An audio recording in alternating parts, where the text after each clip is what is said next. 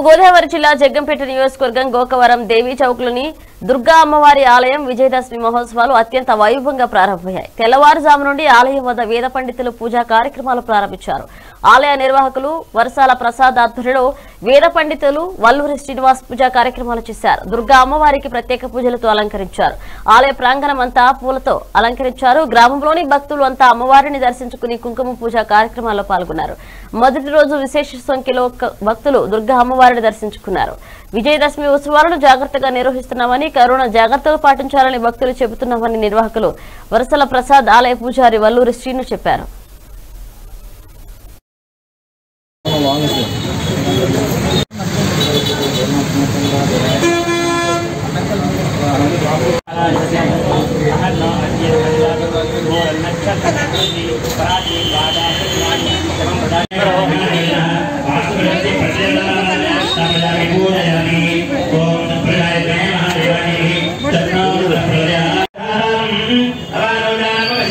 Gracias.